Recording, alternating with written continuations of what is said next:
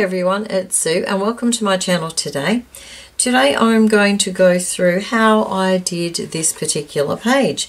This is my design team project page for scrapbooking and crafts. The things that we were sent today was a set of uh, what I considered wings. So we got these. Now they could be leaves, they could be anything else, but I took them as wings when I saw them. So what I decided to do was combine them with another uh, little um, one of these cutouts that I also ordered earlier on from Scrapbooking and Crafts, the, the little girl here. So what I've done is I've put her and I've used these as the wings. So please continue watching um, to watch how I achieve this page. The I did use a gel print background, but of course you don't have to. You could use any other uh, background that you, you want to create. But it's a fairly simple page to do. You could also use, I've used gel uh, prints for the insides of the girl and the wings, but again you could use scrapbook paper too. Lots of different ways of doing this, but um, and these wings here, very versatile. So continue watching, have a look how I went with the project. Alright, my first step is that I'm going to glue my gel, gel print backing onto my journal page. Now, of course, you can do a backing straight onto your page if you like. It's up to you. But I'm trying to use up a lot of my stash. So I felt when I came across this particular gel print that this would be really good to use as the backing for this particular project. It's uh, quite textured, this particular one. I'm not sure how I achieved it, but it is actually very, very textured. So I'm going to just pop some glue onto my background. And I might just pop some paper in there so that I can go right to the edge. You may want to use uh, a gel medium for this too because I have found that it's not always easy to use a glue stick with the craft paper background. And this itself is quite thick as well. So I'm just going to glue that down. And I will trim that of course once it's dry press that down and while that is drying what I'm going to do is I'm going to paint my little uh, girl, which of course is from Scrapbooking and Crafts. So I'll just move this. I'm totally running out of space, of course, and bits and pieces left from another project, which actually I might use for this one now that I look at it. Alright, so I'm going to just coat my girl in some black gesso.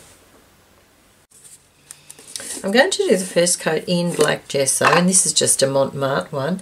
Then I'm actually going to do it in the black paint. If you don't have either one, you could just do a couple of coats of whichever you prefer. Um, now, got a fairly small brush, but I have a feeling I might need a smaller one. Well, because it's not very thick, it's um, quite easy to paint. Okay, now just pop that to one side. I'm going to dry it. So I'll be back in a moment. Just before I dry it, you can see actually it makes a really quite a nice image too. So if you, uh, you know, before you use this, you could actually use it almost like a stencil. Okay, so my gesso layer is dry. And I am going to actually keep that because I think um, I can use that for something. So I'm going to keep that one. So I've got another piece of paper and now I'm going to use the black paint. And this one's just a Jo Sonja paint that I've had for quite some time. You could use any black paint you've got. Whoops. You don't need a lot of paint either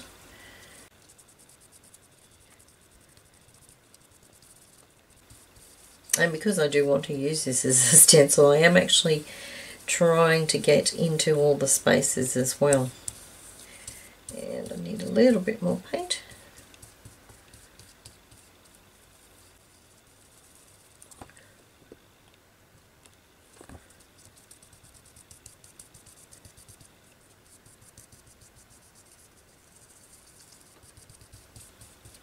Okay, I think that's well and truly covered and might as well just use up the rest of this paint where I can.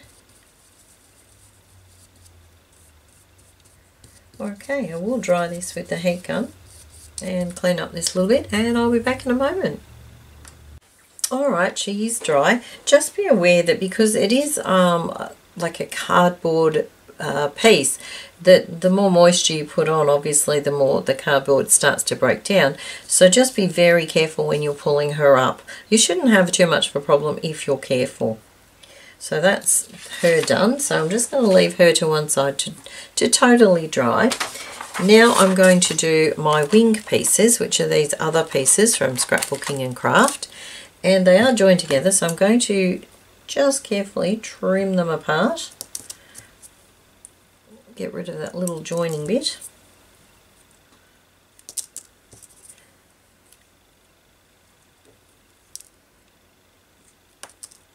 Okay.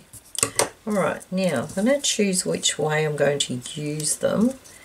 Uh, that way, I think, and that way. Let's see, maybe, I think I might have the, let's just have a look. Probably the longer part of it there, if you can have a look, there's the, the shorter and the longer. I'm going to use the longer for towards the body I think because that gives me a little bit more room for when I put the wings like so. Um, and I think I might pop that one upside down so that, um, yeah, that works. Okay, so I'm going to coat these in uh, probably gold straight away. I might just do two coats of gold. See how we go with that. Hmm, gold's a little bit chunky, so we'll see how we go. Might need to water it down a little bit. It's been a while since I've used this one. It's a Jo Sonja uh, Rich Gold Series 2. But of course you can use any gold paint you've got. I do actually have another one here which was a recent purchase from uh, Big W actually. I think it was only about $2 if you're here in Australia. Um, and it's not too bad actually. I may actually put a little bit on these wings as well. But I thought I would use up some of this Jo Sonja one first because I have had it for a while, as I've said, and it is quite chunky. So I really thought I'd need to use it up. I'd rather use it up than throw it out. um, as I'm sure you will agree. And I do have quite a few tubes of paint now that I really do need to use them up. That's what I do like about the gel prints, making gel prints. You can use a lot of those uh, paints that you've had sitting there for a little while Alright, I might just keep going with this and I will come back when I have finished covering them all. Okay, now I have given them one coat and I'm just looking at them and I'm thinking maybe I will actually give them a slightly full second coat of the other gold. Just because I think it might, oops, it might give them a little bit more contrast. So I'm just going to wipe that off my fingers since it just splattered everywhere. And just dab in a few places and I'll just lift it up in a minute and show you the difference in the golds because I'm sure you're aware that different golds just come up differently. And I just think it might just give it a little bit of extra. So just where I think it needs a little bit more where it might have just been a bit of a thin coat.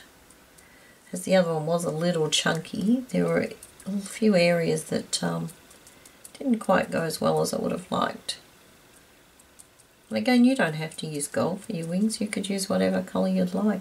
I just think that gold um, sort of is that magical and sparkly, sort of gives it a magical feel. Alright, I might just leave it at that. and now give them another dry and then we'll set them to one side I think. I'll just dry them and then I'll show you what they look like. Okay, so this is what they look like when they've got the two shades of gold. I think you can just see the little bits of different gold in on the top there. Now what I'm going to do is I'm going to actually back these with another piece of gel print. Now I have this one which I thought would be great for the girl. Um, and I'm thinking for the back of these ones, I'm actually going to use this. Now this is a gel print done on um, tracing paper or something, but I'm thinking they should, depending on where I pop it, it sh they should stand out behind the wing. So that's what I'm hoping anyway. So we'll see how we go with that. Alright, now I'm going to trim the page from the journal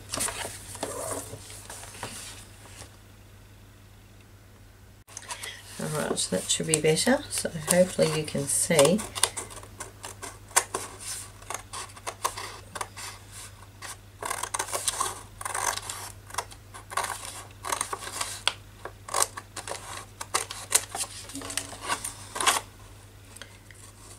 Now remember as I said you can do the background um, any way you want.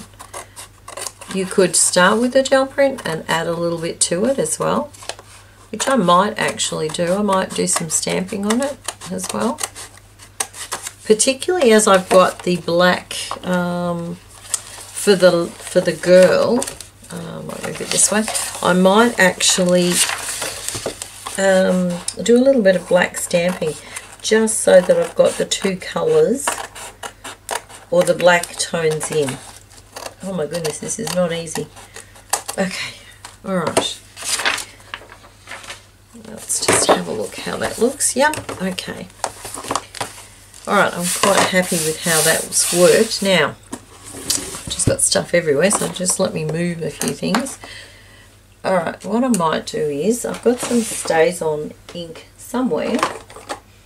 Alright, let's just put my StazOn ink and a script stamp, which is back to front on the thing. Okay. So what I'm thinking is just a little bit, not much, just enough to put a little bit of black in the background. Now because this uh, background here is quite textured, it's actually quite difficult to get the stamp to show off. But that's okay, we'll, we'll be right.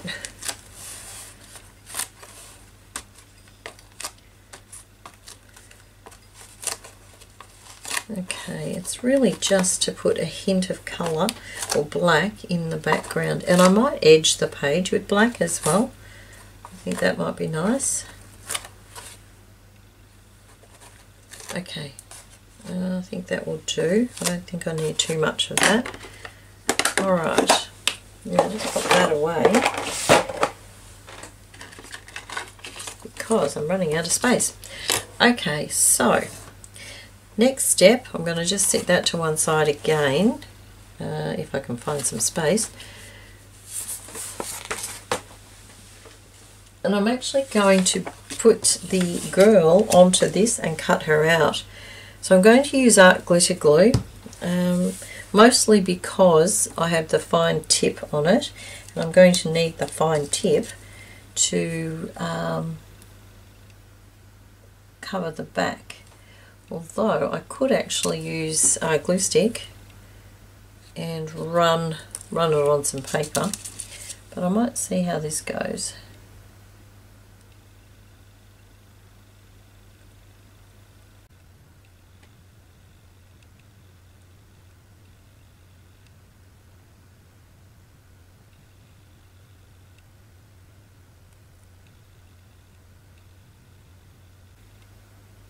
I'm quite um, excited to see how this works out actually. This uh, particular um, little cutout that I've got, this one I ordered myself. This was not part of the design team package. Uh, but when I saw it I thought oh wow I really want to see I really want that um, I'm thinking we might go for the more ooh, maybe up here okay now there is a little bit of glue on the background, but I'm thinking that's going to dry clear anyway, so it should be okay. Just want to make sure I've got a lot of glue to hold it down. So that's what that looks like. You can see the colour just coming through from the background. Okay, now I'm going to do exactly the same with the four pieces of wing. Okay. Now, got to make sure that, okay, that's how they're going to go. So, um, I think I'll have the two bottom ones more blue if I can. And again, fine tip uh, glue applicator, really good for this sort of thing. of course, when I saw these, my my first thing was I thought they were wings, or part, I thought, oh, I can make wings of those. Um, but of course, they could also be uh, leaves from um, for a plant as well. But it's up to you. It's your imagination what you can turn them into. If you had a lot of them, I imagine you could actually make them a circular type of design too. That would look quite effective. Okay, so I need another blue one. Now the next one's going to be less blue, so I might work more up here, I think. Although it doesn't stand out as much because of the yellow, so maybe, maybe over here I might try and get that bit of red in there and maybe a bit of red there. I think that would be nice.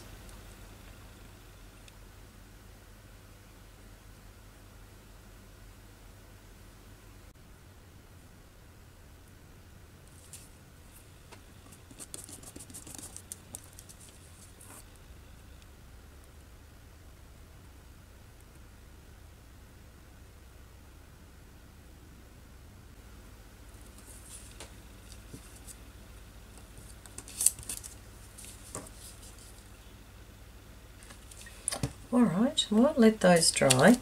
And what I might do is just to make sure they sort of hold well, I'm going to put something on top of them to just weight them down a little bit, um, particularly at the ends there. Alright, so that can hold that. Now while that's happening, I'm going to cut this out. Uh, where's the small pair of scissors?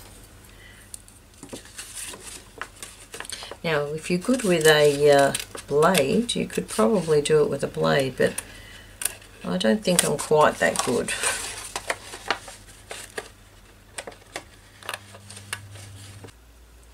Alright, there she is. Now, because it's very difficult to get right to the edges, I'm actually going to get one of my black markers, permanent markers, and I'm just going to run around the edge just to get rid of any of that um, the the orange or whatever that you can see just to make sure that she blends in better. And I find the chisel edge of a marker easier to do that with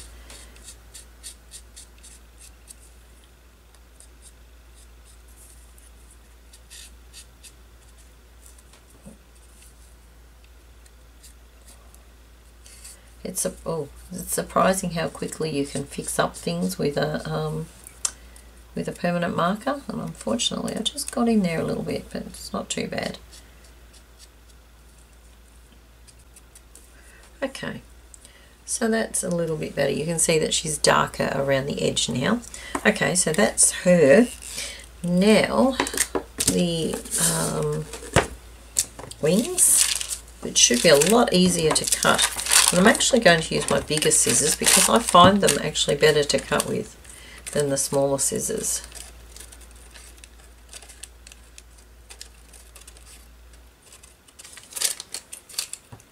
I do have another set of these um, wings, leaves, whatever they are, whatever you decide they are.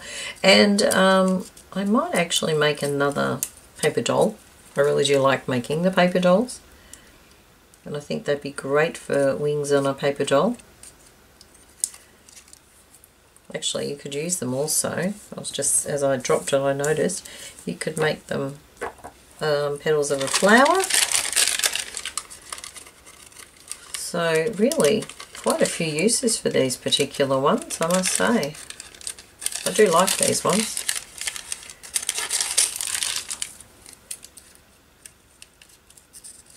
Now I'm actually going to edge these in black as well because um, I think that will help stand them out from the page better as well. So I am going to get my black texture again and do the same thing with these ones, just on the outside.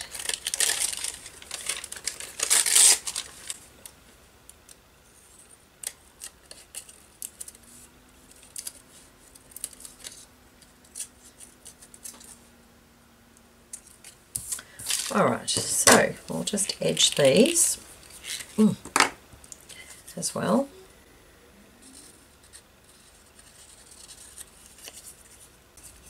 Okay, so you can see it just it just edges it a little bit. Whoops.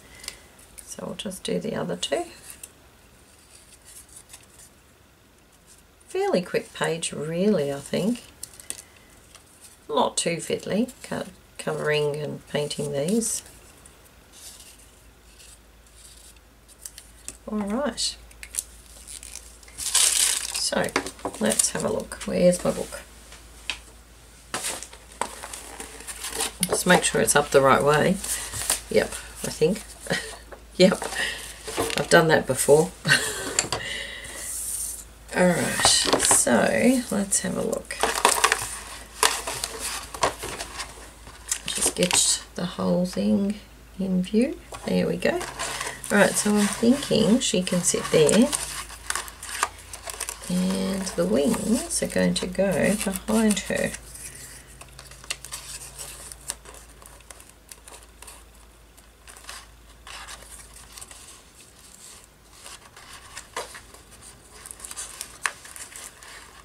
like so somehow and then I'm going to pop a sentiment there and I think I might do a border and I'm going to call that done. So possibly gel medium might actually be better to glue these. So let me just grab, okay what have I got? I've got the Distress Collage Medium. We'll see how we go with that. Uh, I got a brush handy. Alright. Uh, now, I'm just thinking, how am I going to do this? Probably better to put the leaves first. So we'll start with one of them.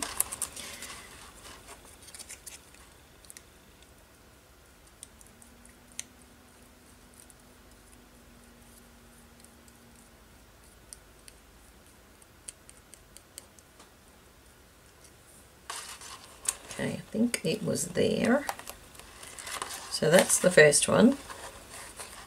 Now the second one, yep, matches there, okay.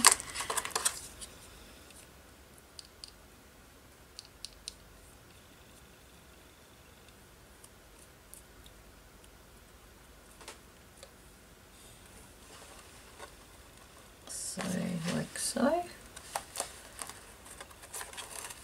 Yep, and this one I think uh, let's have a look. I think maybe, I think I like that. So yep, so pointing the point together with the other points. I think I might need a bit more of the gel medium actually. Just because my background is quite textured.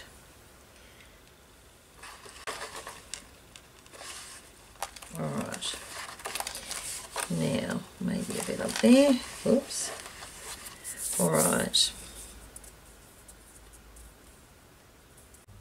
Okay, I have printed some, um, a sentiment or a quote that I'm going to use um, and it's if you don't have wings create them because I kind of that struck a chord with me because I've always wanted to have wings. I think it would be just one of those brilliant things to have.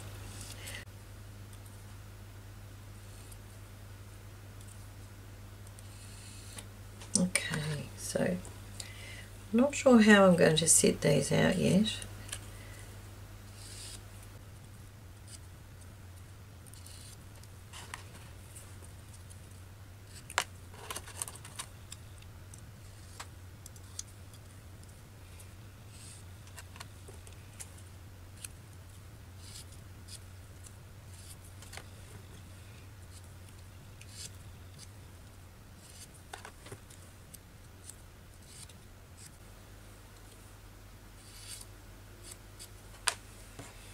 Alright, now let's have a look. I did think of putting them down here.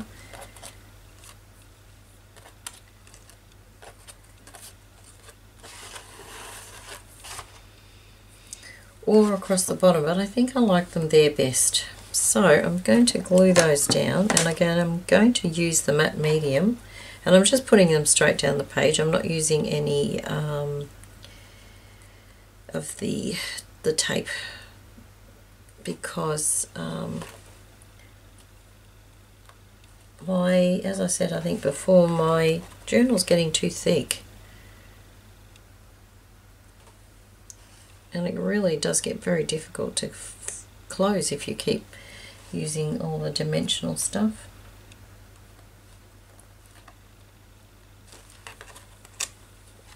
Mm, I think that could probably come a little bit lower.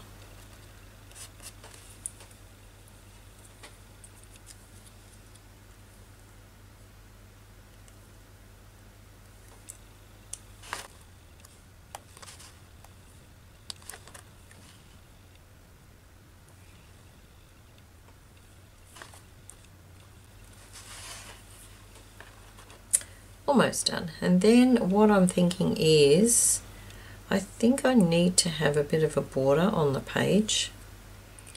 To me it just needs something. So I don't know whether I want a thick border thin border or what okay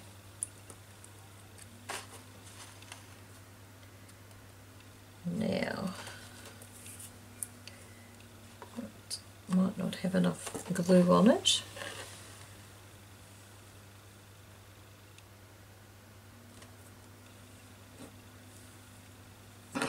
Okay, alright.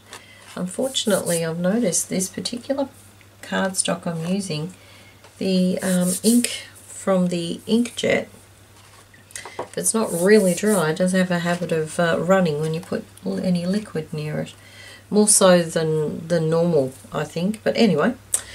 Okay now let's see. I think I might just edge around the wings with my Stabilo All because I think it just needs a little bit more to stand out. And I'm just going to give my pencil a quick sharpen so that I've got a bit more of a point. I like to have a point when I do this. On the pencil I mean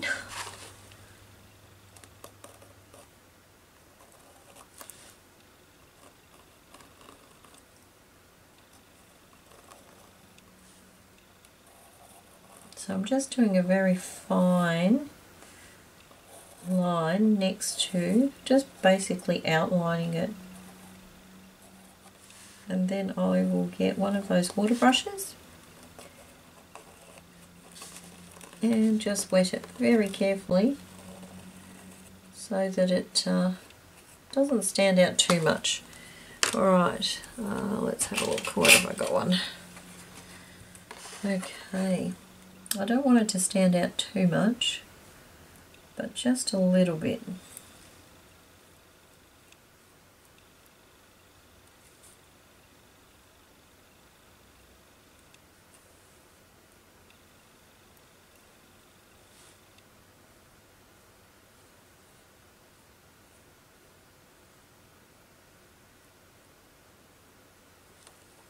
Yeah, you can see the difference between this one and this one.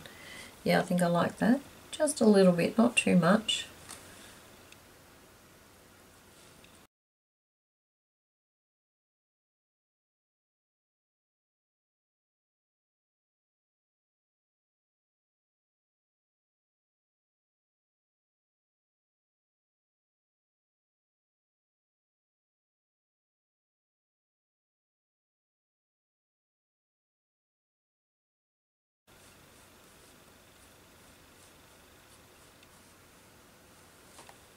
Okay, alright. Now I could do it for the edge of all these, but I don't think I will.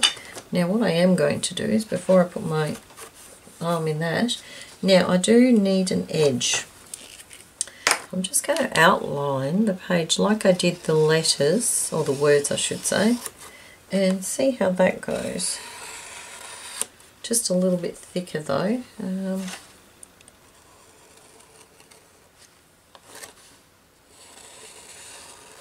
oh, that was not what I was hoping to do. Uh, where's the little... Never mind. Okay. So let's just have a look, shall we?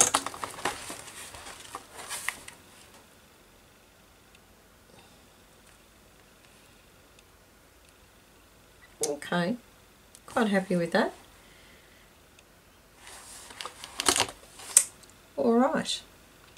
I think we'll call that done. Yeah, thank you very much for joining me. And as I said, um, have a look um, on Scrapbooking and Crafts website and you should be able to find both of the uh, little cutouts that I've used today. So thank you very much for watching and I'll see you again soon. Bye for now.